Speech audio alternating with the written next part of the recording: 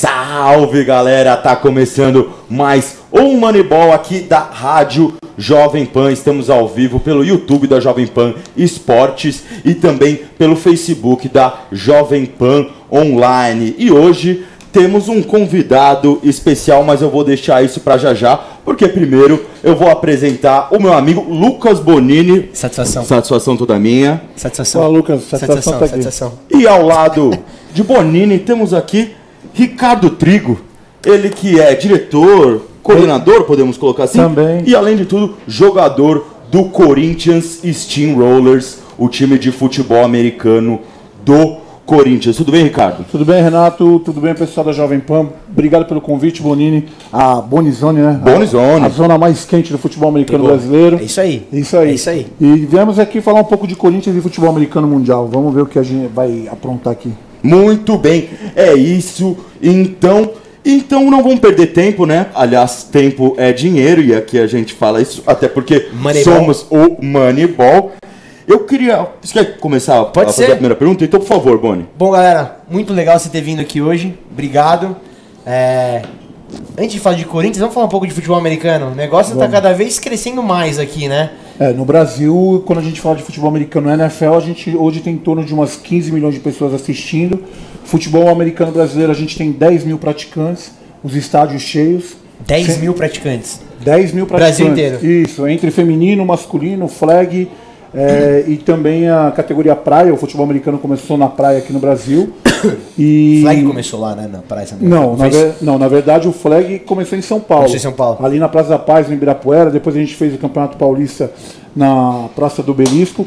O futebol é, americano começou no Rio de Janeiro, nas praias, sem equipamento, sem nada. Inclusive quando o, o quarterback de São Francisco 49ers veio aqui, o Tony...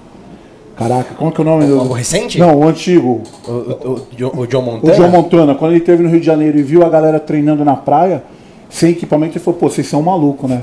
E o futebol americano já era quebradeira já na dé- década ali de. final da década de 90, começo de 2000, começou muito pelo Rio de Janeiro. E pra quem não sabe, é, o Corinthians Steamrollers e você é um dos caras precursores aqui que começou a fazer com que se tornasse o que é hoje, vai. É, né? na, na verdade eu jogo futebol americano desde 2005. É, apesar do, do amigo Renato aqui ter falado que a gente ainda é jogador, eu parei no final do ano passado, aposentei ali num grande jogo na Vila Belmiro. Muita saudade de jogar, hoje sou treinador. É, eu trouxe, é, eu talvez tenha sido, talvez não, eu fui o primeiro a fechar uma grande parceria entre futebol americano, que era o Steamrollers, e o Corinthians. E ajudei as demais, ajudei o Palmeiras, ajudei Vasco, ajudei Flamengo, Curitiba Crocodiles, en- entre outros, porque não, eu não podia ficar sozinho. É, então, esse foi um grande legado que eu deixei aí pro esporte. Ricardo, só aproveitando já que você falou isso aí, é, o time, o Steamrollers, foi criado há 11 anos, né? Em 2006. Só que dois anos depois, só que ele fechou com o time de soccer mesmo, o Corinthians. Como é que foi essa troca de Steamrollers para Corinthians e Steamrollers? O clube Corinthians mesmo, ele fornece estrutura para vocês?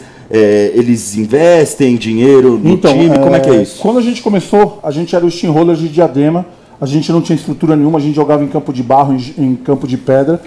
É, quando eu tive a ideia de falar, pô, vamos ver se o Corinthians abraça essa causa. Quando nós deixamos de ser o Steamroller, viramos Corinthians, campo sintético, sala de musculação, fisioterapia, plano de saúde, plano de, de, é, de morte, né, caso alguém Sim. se machucasse, enfim, mudou toda a estrutura. O- a única coisa que o Corinthians não nos dá é, é dinheiro. Mas isso através do nome e a camisa do Corinthians a gente corre atrás de patrocínio e eu tenho orgulho de falar que desde 2008 é, com essa parceria fechada a gente nunca pegou um real do clube.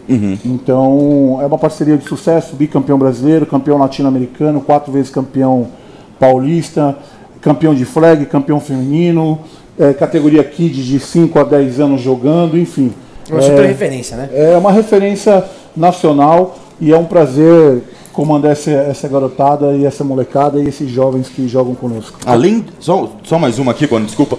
Além de tudo isso que, que você falou, é, eu estava pesquisando na internet um pouco antes de começar aqui o programa e eu vi que o Corinthians Steamrollers já visitou a Fundação Casa, né, fez um trabalho bem bacana ali que eu estava vendo. Existem outras ações sociais que o time faz além dessa? Então, nós temos, nós temos várias, é, várias coisas sociais. O dia de doar sangue, é, a campanha do agasalho, distribuir comida na rua, é, ir na Fundação Casa. A gente já foi na, é, no, no, antigo, no antigo Carandiru, não, na, no complexo prisional ali do Belém. Uhum. Enfim, a gente leva o futebol americano às pessoas que não têm acessibilidade a ele. Então, isso é uma constante na gente. A gente é, tem também daquela marca que tem o Big Mac, entendeu? A gente também é, tá junto com ele sempre. Pode falar aqui, não é, tem problema. É, o McDonald's, a gente tem. É, é, a gente doa também dinheiro para a rapaziada ali do câncer que está. É legal pra Entendeu? Então a gente tem várias ações sociais, é, a campanha do agasalho, enfim. Isso aí é uma constante no Corinthians. Boni? Não, muito legal. Isso é uma coisa que acontece muito lá, né? A gente vê bastante jogadores fazendo isso no, no o, o trabalho vo, é, no voluntariado, na comunidade, é uma coisa super presente. Acho que não no futebol americano, mas em todos os esportes americanos. Muito legal. É, a gente poder ver isso aqui no Brasil é uma coisa que a gente às vezes espera até do futebol, né, Renato? Falei. É uma coisa que a gente até espera do futebol mais, né? Até porque, mediaticamente falando, os caras têm uma visibilidade maior. Mas, aí galera, no futebol americano, o pessoal é, fazendo uma coisa super legal aqui. Nos Estados Unidos, quem, quem se envolve muito com essas campanhas sociais tem o prêmio lá, o, o Walter Payton. O Walter Payton que é um cara que sempre doou muito. E aqui no Brasil a gente ainda não tem, mas eu, eu acredito que o Corinthians é uma das equipes que faz esse trabalho social, mas tem outras equipes no Brasil que fazem muito bem isso, como o T-Rex, como o Jaraguá Breakers, o pessoal do Nordeste faz bem isso aí também.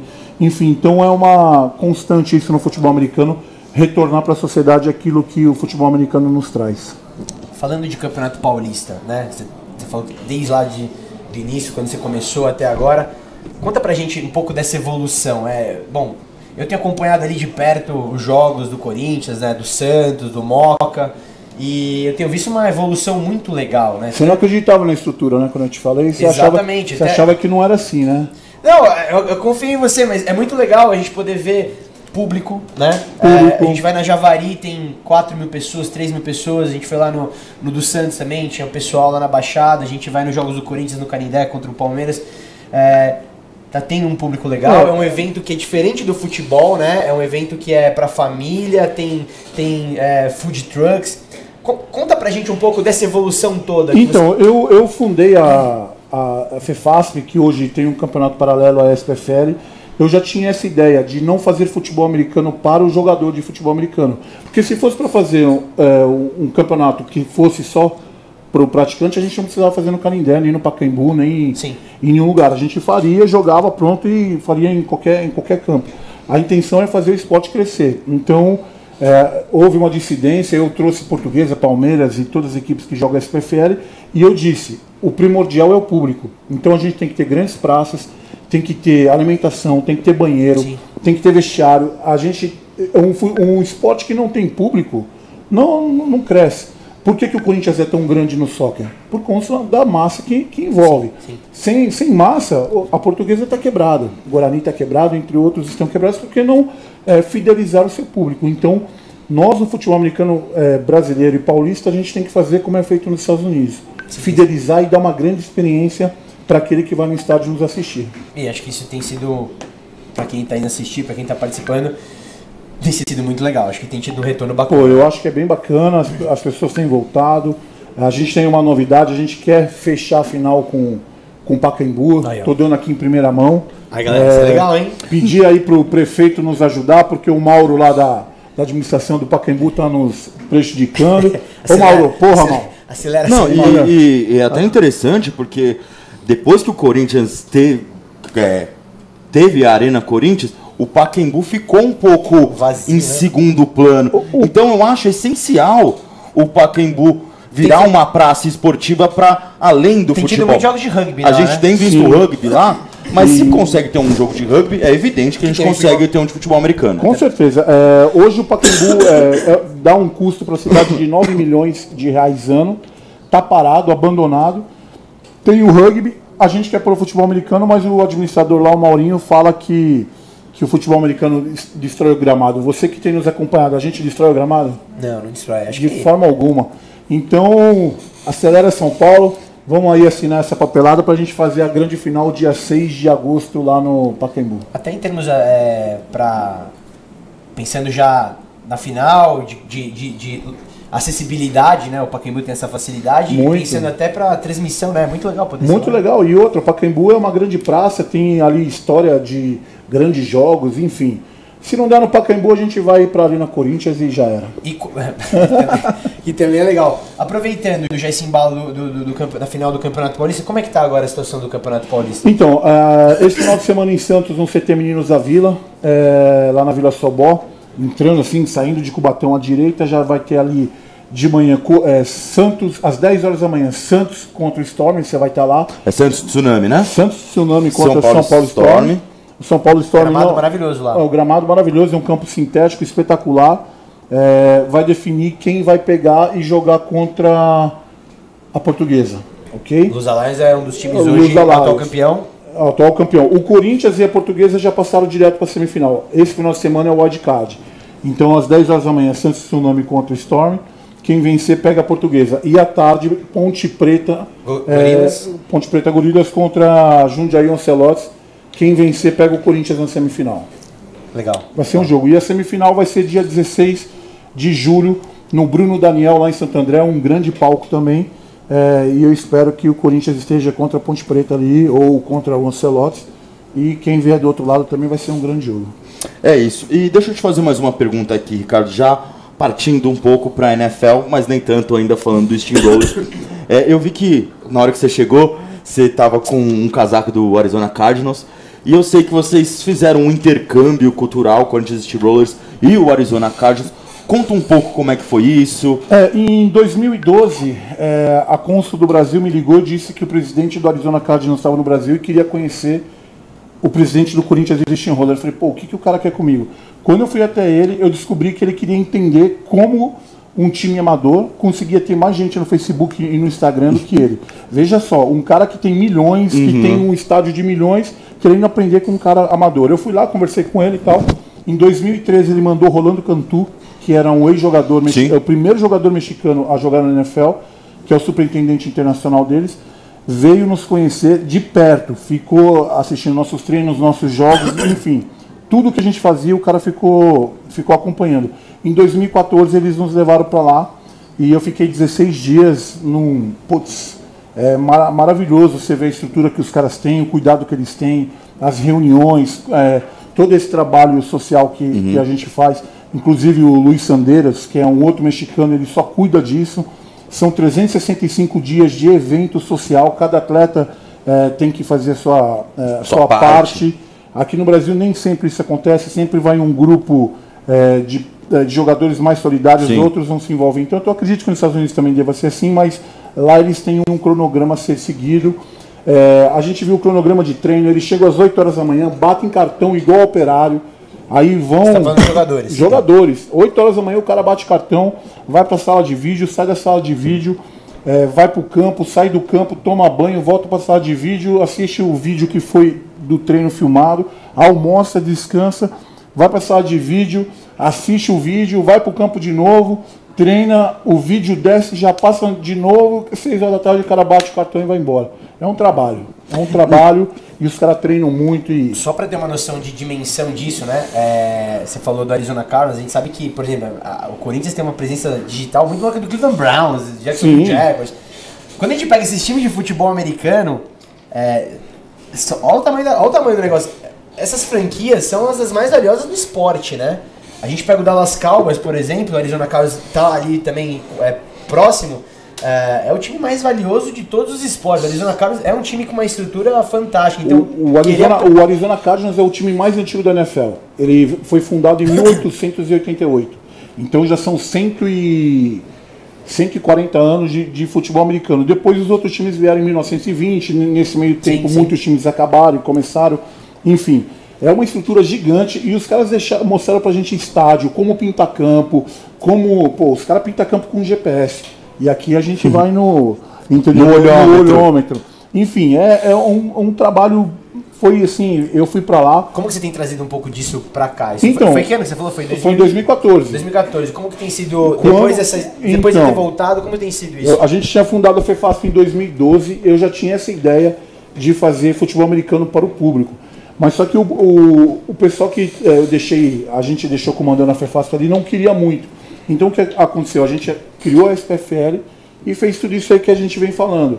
Estádio, alimentação, é, vestiário, sabe? Tudo dentro de uma condição, guardadas as devidas proporções, o Sim. que é feito nos Estados Unidos a gente dá para o atleta e para o público. É, já temos isso, uma, uma, uma evolução nesse sentido, até olhando para esse campeonato paulista. Exatamente. E se a gente parar e pensar, ah, em Cuiabá, Corinthians e Steamroller contra o Arsenal Cuiabá, colocou 12 mil pessoas na Arena Cuiabá, que é um estádio de Copa do Mundo. E há duas semanas atrás, o Vasco e, Vasco e Flamengo, pelo Campeonato Brasileiro, não conseguiram colocar nem, acho que, 8 mil pessoas no estádio, se não me engano. Então, a gente não precisa nem muito longe. Na semana seguinte que jogou Cuiabá e Corinthians lá na Arena Cuiabá, jogou o Corinthians contra o, o Santa Cruz de Pernambuco, que não estava sem mando de, de local. Jogaram lá, colocaram 4 mil pessoas. Então, o futebol americano é uma febre. No Nordeste é muito forte, né? No Nordeste é muito forte, no Afritos coloca muita gente. Teve a final do Mineiro ano passado no, no Mineirão, colocou acho que 14 mil pessoas, no, no Internacional.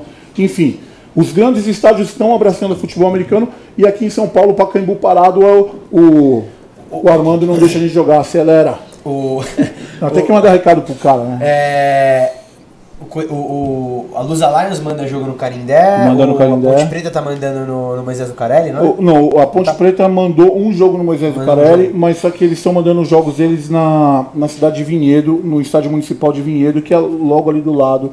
Legal. É, enfim, cada um tem um lugar para mandar seus jogos, né? Legal.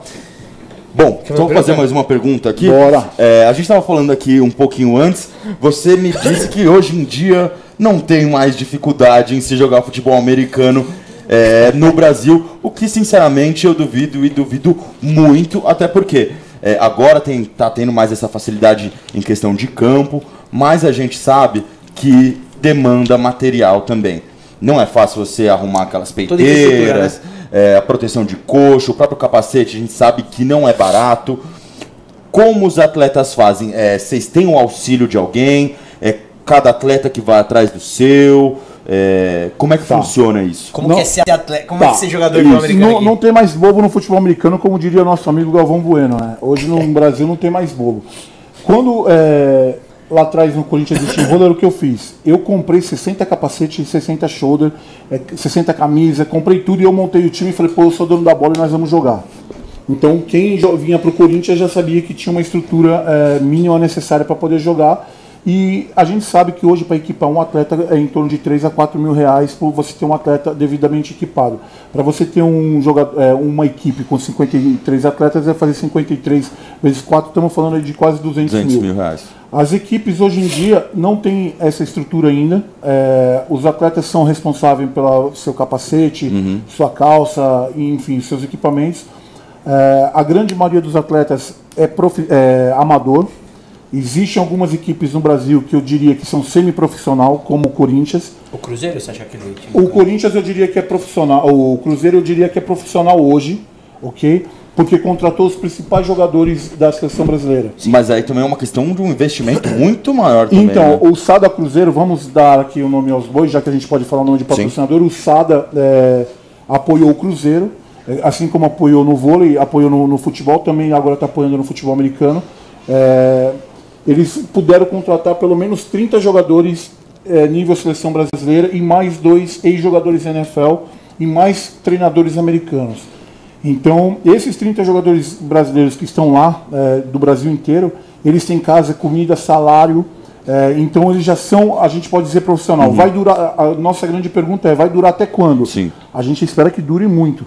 Mas a gente não sabe se o ano que vem vai acabar ou não. Eu espero que não, porque o Corinthians quer seguir essa mesma trilha. O Corinthians lá atrás era o, era o, o rolo compressor que puxava todo mundo, porque a gente tinha grandes patrocinadores, tinha equipamento e tudo. A gente puxou durante um tempo e foi campeão. Hoje é o Sada Cruzeiro que é o, é o quem a gente tem que correr atrás. Então, hoje em dia não é mais tão difícil. É, a gente tem acessibilidade a todos os estádios. É, a nível de treinamento, a gente tem muitos treinadores americanos aqui no Brasil. É, os patrocinadores estão entrando, então não está tão difícil assim é, fazer futebol americano. O que a gente precisa de mais é público, mídia, espaço aqui a Jovem Pan, Renato, Bonini. Bom, comparando até quando, dando- quando você começou pro que tá agora, realmente tem uma. O- Hoje em, é, dia, muito, hoje em né? dia é muito, hoje em dia é muito Mas promissor. ainda falta realmente ter, acho que um- um- uma entrada maior de patrocinadores, né? Porque acho que tem uma. É, é, se a gente é. olha pro, pro, pro retorno midiático que tem uh, assistir futebol americano e até de repente quando isso começar. Pensa na, na, na- na parte de redes sociais, da força que o Corinthians tem, tem, uma, tem um retorno para um patrocinador, né? Sim, tem um retorno. É, é que a grande maioria dos atletas que eu vejo dando entrevista sempre vão dando entrevista e falam, ah, tá muito difícil, tá muito. Pô, ninguém vai ajudar mendigo. É, aí não, a partir do momento que você fala que tá difícil, o patrocinador já te olha com, com olho. Pô, o Corinthians Steamroller tem 1 milhão e 500 mil pessoas. Você, patrocinador que quiser ter a sua marca divulgada, Pra um, vem- um milhão e 1 meio de milhão e pessoas. 500 mil. É, mais que Cleveland Browns, mais, que, Cleveland- Jacksonville Jaguars. Pô, a gente é o canal, entendeu? E, e vou te dizer mais, se a gente tem jogadores que custam 4 mil reais para ser equipados, se tá difícil para ele, imagina para entendeu? Para quem não tem condição nenhuma. Então a gente tem que parar de chorar, a gente tem que olhar para frente, dizer que tá bom, agradecer o que tem e vão para frente, entendeu? Não vão ficar chorando. É difícil, é difícil.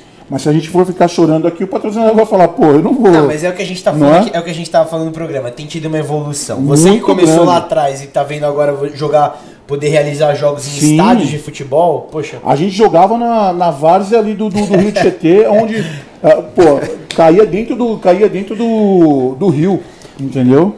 Posso fazer uma aqui, Pode, Bono? pode, Rapidinho. A gente, você chegou a tocar no assunto seleção brasileira.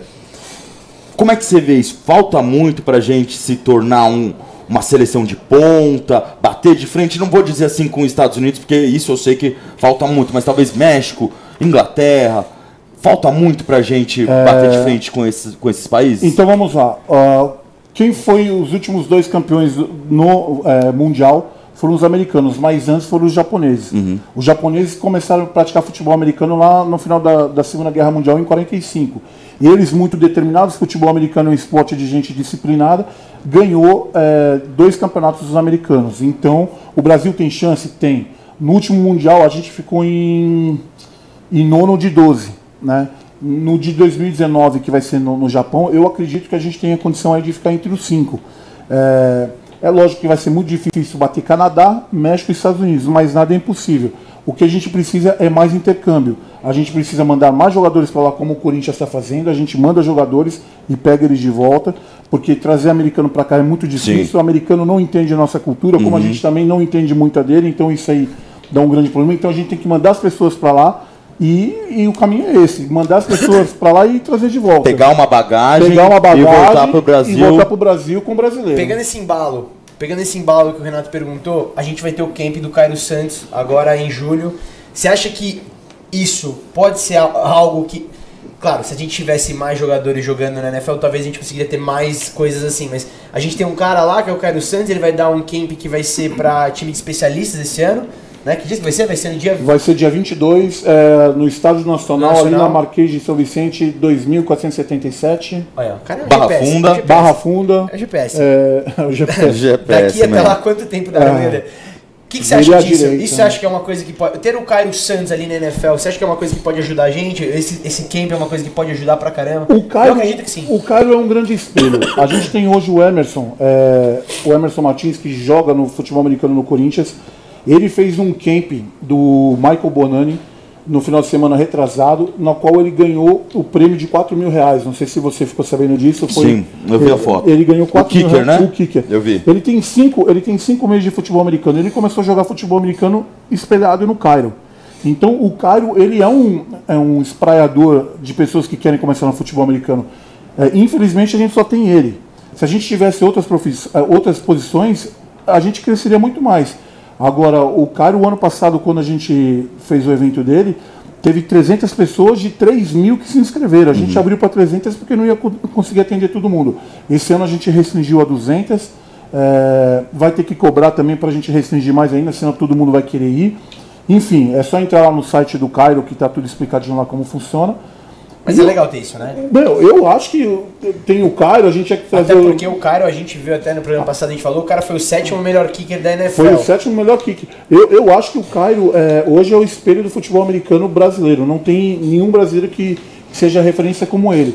Ah, mas a gente também está pro ano que vem tentando trazer o Peyton Manning, entendeu? E Só Peito não, não, mas na verdade assim, o Cairo é uma porta. Sim. A- Agora a gente quer trazer para QB, quer trazer Travis Kelce, Claro. que eu acho que é um grande Travis Kelce, end, amigo do Cairo também. amigo do Cairo, Tight end. entendeu? Então ele nos abriu uma possibilidade que a gente vai poder aproveitar e fazer essa molecada aí virar grandes jogadores para depois no mundial bater de frente com os Estados Unidos, Japão e México. Falando já em retornadores, é, o, tem um cara do Corinthians, eu acho demais, o Branco. É Pô. um baita retornador, baita running back. O, o branco, Eu até brinco com ele que eu falo que ele é o Christian McCaffrey do. O, o- o Branco ele começou com a gente, ele tinha 15 anos de idade. Hoje ele tem 21 anos, 7 anos, 6, 7 anos depois.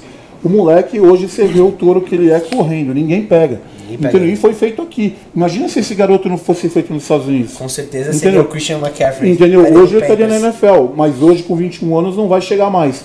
É, Mas com certeza também acho que até por estar ali no dia a dia dos jogos, é muito respeitado, né? Eu vejo. Não, ele é muito respeitado. A gente foi Ele- jogar lá na Arena Cuiabá, as meninas queriam a camisa dele.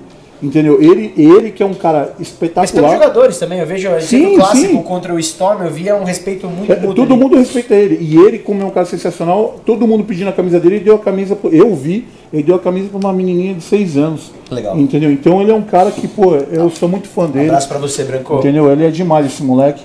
Entendeu? E a E a, e a mulher dele joga também futebol americano no Corinthians e é running back também e corre como ele. Aí, ó. Pô, você tem Todo um jogo. mundo- Tem um jogo do Corinthians em rolê contra o Sparta nesse domingo agora. Sim. É, se você puder acompanhar, vai lá dar uma olhada. A mulher do branco, pô, a Giovana corre demais. Você vai Dois ver. running backs. É, você vai ver. Pô, a briga deles é Eles- não, não termina, né? Que eles correm daqui até. Gente, eu vou dar um moral aqui pra quem nos dá moral, né? Por favor. Queria mandar um abraço aqui. De Janeiro José Ferreira Neto. O Marcos Vinícius Lidel, que tá falando Corinthians Steamrollers, mandou um emoji aqui de bote de futebol americano. A Silvia Bandeira, Ghostin, Corinthians Steamrollers. O Renato Valverde. Márcio Oliveira, Thales Fazan, Bonfim. Galera aqui mandando mensagem, apoiando o futebol americano do Brasil. Já já a gente vai passar para um outro tópico, mas antes disso eu vou te fazer uma pergunta. A gente tem visto a NBA se aproximando muito do Brasil, assim como a Major League Baseball, As principais ligas, né? as principais ligas americanas. Eu queria saber como é que tá a relação, se é que existe alguma relação entre futebol americano brasileiro e NFL. Tá. Só um embalo. A NBA, já, a NBA tinha declarado já que quer transformar a, a NBB como a terceira, quarta maior liga do mundo. Então realmente tem um interesse forte. Como é que tá aqui? Então, é, primeiro mandar um abraço aí pra Silvia Bandeira, que você citou, ela é nossa running back no time feminino também. Valeu, Bandeira. É, então, o, a- a- quem trouxe a, a NBA pro Brasil foi o filho do, do antigo presidente do, do Brasil, o Fernando Collor. O Arnon. O Arnon. Ele que inclusive é da, da NBA também, Exatamente. vice-presidente então, da então, NBA, então ficou, Brasil. ficou muito mais fácil ele conseguir fazer isso. Sim. Hoje nós temos aqui o nosso grande ídolo no, no, no basquete brasileiro, quem é? O Chamel. Uhum. Chamel que joga lá no Mogi, está lá nos Estados Unidos. Se estiver acompanhando, um abraço aí, Chamel. Na verdade, é, eu fui para os Estados Unidos, conversei com a NFL. é, Isso o- na, na época dos Cardinals. isso em 2014. Agora, em 2015, em 2016, do ano passado, quando o Cairo veio, ele veio com dois representantes da NFL. A gente levou eles para conhecer. Quando eles viram o calendário, eles falaram: pô, você quer fazer jogo de NFL aqui? Eu falei: não, deixa para de noite que eu vou te mostrar o estádio. Aí levei eles na Arena Corinthians. Quando eles viram a Arena Corinthians, eles falaram: pô, aqui dá para fazer jogo de futebol americano sim. Então existe uma conversa, a gente é, acha que a, a entrada tem que ser pelo Rio de Janeiro, porque o Rio de Janeiro é um cartão postal. Ah, a NBA fez isso, entendeu? né? A- é, exatamente, tem que entrar pelo Rio de Janeiro, pelo Maracanã, que tem, é um, um estádio histórico. Que agora também tá em desuso, que o Flamengo já tá com a Ilha do Urubu. Ninguém quer. tem. Tá, tá como se fosse o Pacaembu, Exatamente. que é o Maracanã duas, lá. duas finais é, de, de- de Copa do Mundo no, no- no- Maracanã. Então a gente tem que ajudar a NFL a entrar no, no Brasil é, com jogos pré-season da NFL. É, acho que esse é o ponto, né? A hora que a gente conseguir isso, eu acho que a gente consegue todo o Mais resto. que o Pro Bowl? Mais que o Pro Bowl, a pré-temporada. Eu vou te falar uma coisa, Pro Bowl é um Não- jogo é. festivo que eu acho Não que tem- é, é muito caro e o brasileiro não vai querer pagar Pra ver um jogo- 1.500 reais para ir ver um jogo Festivo. festivo onde não tem teco, onde não tem pancada, onde não tem nada. Agora você leva um Oakland Raiders, que todo mundo no Brasil torce pro Oakland Raiders, você já viu isso? Sim, sim. Todo mundo anda com a camisa do Oakland Raiders e, sei lá, New England Patriots. Patriots, o né? Gi- Tom Brady, Gisele. Pô, você leva um jogo desse pro Maracanã, né? Se você cobrar 1.500 reais, o cara. Vai ter gente que vai pagar. O cara, a bandeira vai vender a moto dela Sim. e vai lá assistir o, o jogo, entendeu? É, agora, se você levar um Pro Bowl, vai ficar meio. Você acha que, mas você acha que é, o, qual que é o problema hoje? Pra, é o custo? Porque eu acho que assim, a gente já tem infraestrutura, ah, eu acho que a gente tem condição, independentemente de preço, não estou discutindo de preço, mas é, eu acho que a gente tem, hoje, hoje a gente tem uma infraestrutura que colocaria, lotaria um estádio de futebol, americano, é, um estádio de futebol para assistir um jogo, Arena Corinthians que seja, para colocar um jogo de futebol americano. Se for é, um New England Patriots, já é um time cada vez mais conhecido, a gente tem um brasileiro, já imaginou... Então, a- Denver Broncos. o jogo de abertura da NFL, que vai ser Patriots e Chiefs, imagina, é, se fosse aqui, não, não uma abertura da NFL, mas um jogo de pré-temporada que seja, né? Tem um brasileiro, tem o Tom Brady, tem Gronkowski, que é um cara que também tem, é mediático. O que que falta? Então, o que eu acho que falta para a NFL aportar aqui é um grande investidor, um grande realizador de evento. Hoje no Brasil, a gente tem a Cristiane, que faz evento pela SPFL, Ricardo Trigo, que faz, mas a gente precisa da Rede Globo junto, a gente precisa da Jovem Pan junto, a gente precisa das grandes mídias junto para poder vender isso. Por que, que a NFL tá na Inglaterra, tá no México? Porque no México a Televisa tá com eles. No, na Inglaterra, a TV americana lá, a TV inglesa, BBC, tá com eles. Só aproveitando embalo. Esse Entendeu? ano a NFL vai mandar. é, Na quatro China vai e no mandar- Japão. Vai mandar quatro jogos na Inglaterra, aumentou, eram três, esse ano vão ser quatro. Quatro. E vai ter um jogo, jogaço no, no México, que vai ser na, na Estádio Azteca, que vai ser Patriots contra Raiders. E entendeu? E um jogo que vale é, playoff. Playoff, vale playoff. E, mas só que eles estão com a, com a Televisa. com a Televisa, com a mídia, com tudo e com gente bancando que a, que É, a cervejaria Corona tá lá no México. Na Inglaterra eu não sei muito bem. Eles querem levar para o Japão e para a China. A China já está querendo aportar a NFL lá porque já viu que é um, é um grande ganho. Aqui no Brasil a gente precisa de uma grande patrocinadora, sei lá, Neoquímica, chegar e falar, vamos trazer os caras. Porque os caras não vão sair dos Estados Unidos e vir para cá para gastar À dinheiro. toa, sim. Eles vão vir aqui para ganhar dinheiro. Com certeza. Então precisa ter um grande patrocinador. É, a gente já sabe fazer evento aqui. é, a gente precisa assim de, de dinheiro para fazer um, um trabalho desse tamanho e precisa da mídia junto. E espero que a Jovem Pan esteja no, no primeiro evento e vocês dois juntos. Faremos de tudo para estar. Só mais um, ler mais alguns comentários aqui. Davi Muniz, por mais programas assim, parabéns a todos, obrigado, Davi. E uma pergunta aqui para você que o pessoal tem feito muito aqui na nossa live também: como fazer para ter uma camiseta maravilhosa dessa do Corinthians. Steamrollers? Então, essa aqui, essa aqui foi do, do 7 contra 7 que a gente ficou. Agora eu tô vendo, é uma regata isso aqui. É, então, ver. essa aqui foi de um 7 contra 7 que houve um campeonato, o Corinthians ficou em terceiro lugar, estava liderando e acabou em terceiro. Tudo que você quiser do Corinthians e Team Roller é só entrar no site é, ou no Facebook da, da equipe que está aí transmitindo também junto, que é o, Aproveita e curta a página, faça. ou entra direto na loja steamroller.com.br, faça seu pedido lá. Em até cinco dias você recebe a camisa, o copo, o boné, enfim, os produtos. Ajude o time, curta a página, faça parte desse um milhão e meio de Mais seguidores. que isso, vai aos jogos. Vai aos jogos. Claro, quando você, evidente. quando você diz é, ajude o time, realmente tudo que é vendido é revertido para o time.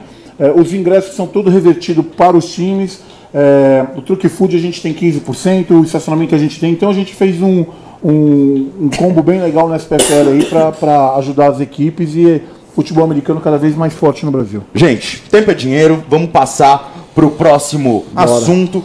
Você gosta de basquete? cara? Pô, eu gosto. Qual gosto que é bastante. time? Então, Cara, vamos, vamos na modinha, né? Vamos de Warriors, entendeu? Então tá. Não, mas o meu é o Chicago Bulls, da, da época do, do boa, Jordan e boa. tal. Mas eu, eu gosto bastante do Warriors, do Lakers. É, tô indo agora assistir um jogo do Orlando Magic agora no final do ano. É, eu vou ficar um mês lá nos Estados Unidos. Você vai fazer alguma, aproveitar e fazer algo de futebol americano já aí, não? Não, então eu vou, eu vou em quatro estádios, é, eu vou em quatro jogos é, na Flórida. E aí vou. em- Basquete? Não, não, de futebol americano. Universitário, vou visitar o amigo Flávio lá, que tem o time de soccer lá, para ver Legal. se ele não quer pegar e fazer a mesma coisa que ele fez lá com soccer, com futebol americano aqui, que ele tem dinheiro. Vamos lá conversar com ele. Enfim, vamos assistir basquete lá do Orlando Magic. Aí depois passa uns dias na Disney e volta. Pô, aí. então agora, agora no dia 26, a NBA premiou os melhores jogadores da temporada 2017. E aqui eu vou passar para vocês alguns dos vencedores. O jogador mais valioso da temporada foi o Russell Westbrook, do Oklahoma A City Thunder. a gente Eu errou? acertei, eu achei que era Eu isso. Eu acho que o Kiwi falou que tinha sido o Harden, né? Não, o Kiwi falou que era o, o Westbrook. Eu, eu também achei que ia Eu achei dar que era o Harden. o, o Russell Westbrook. Eu achei Achei que que, foi bem injusto.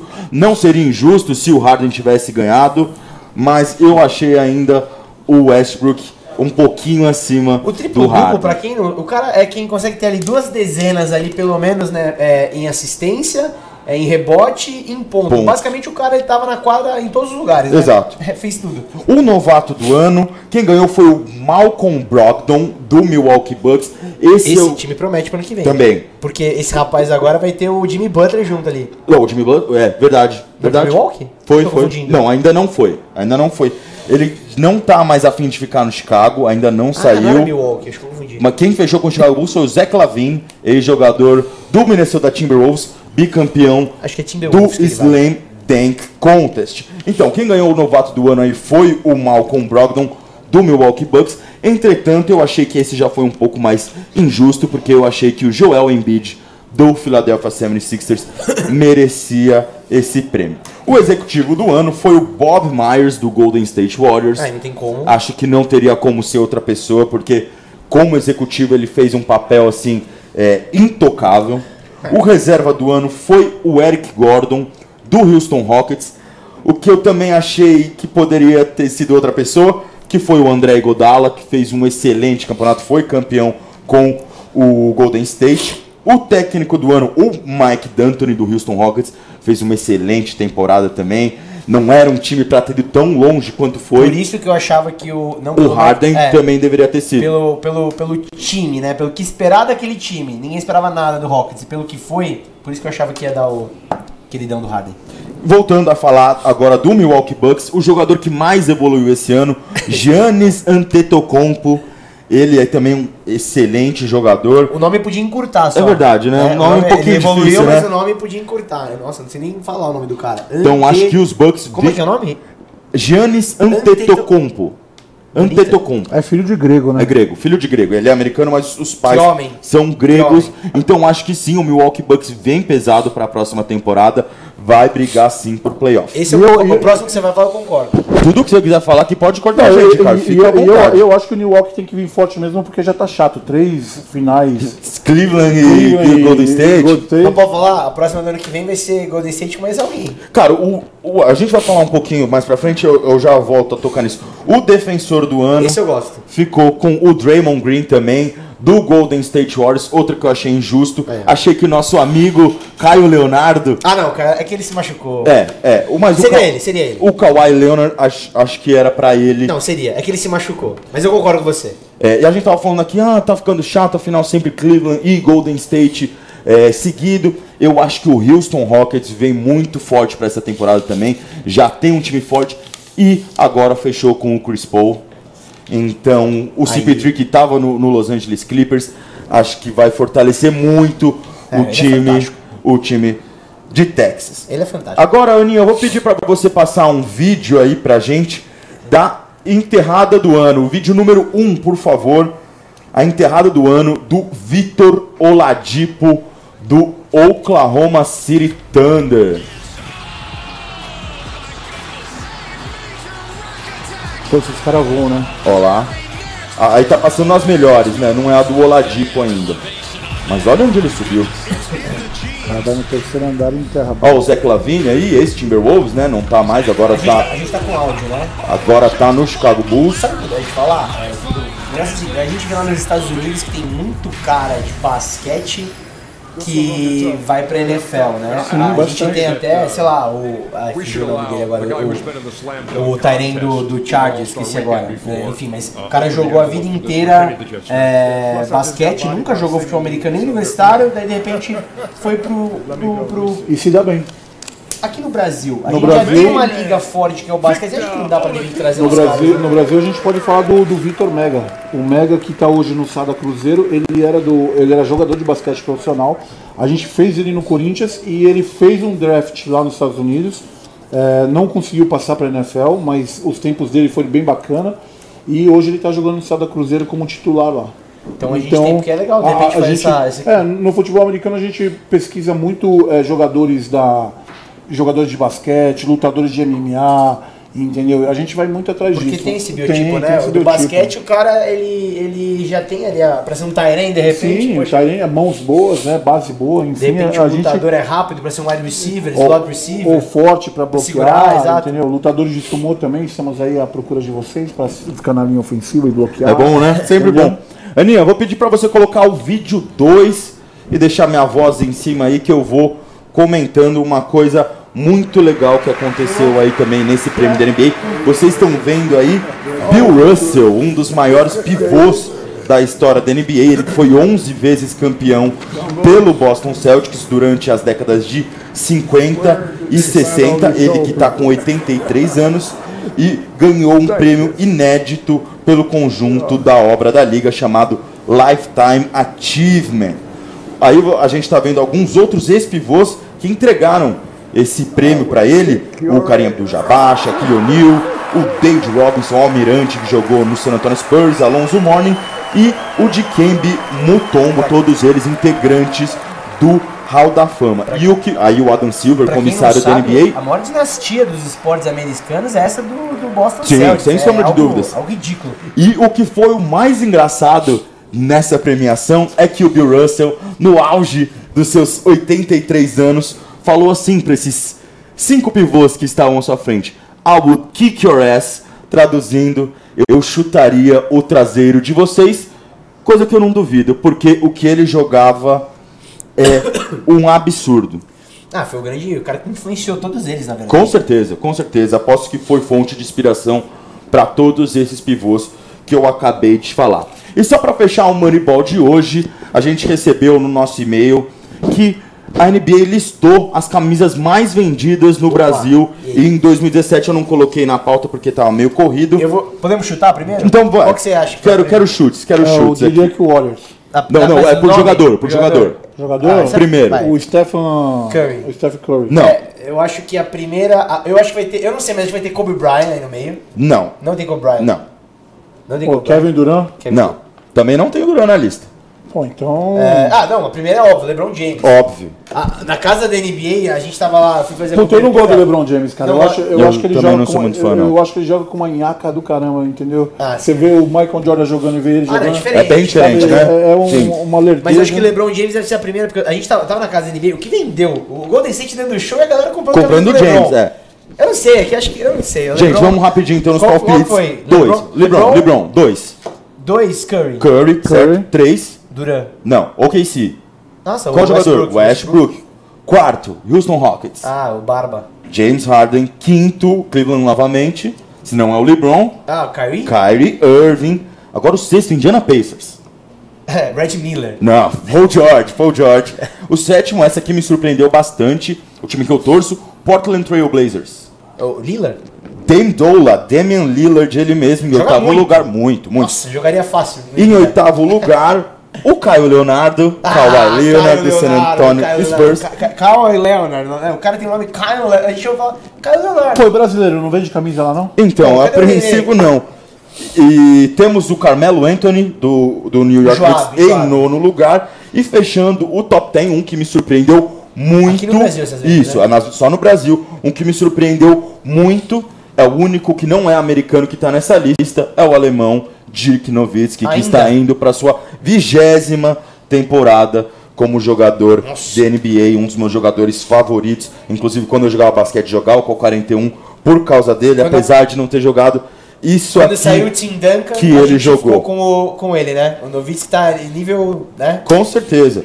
Bom, deixa eu ler mais algumas mensagens aqui antes de a gente ir embora. Eu tinha pegado uma legal aqui.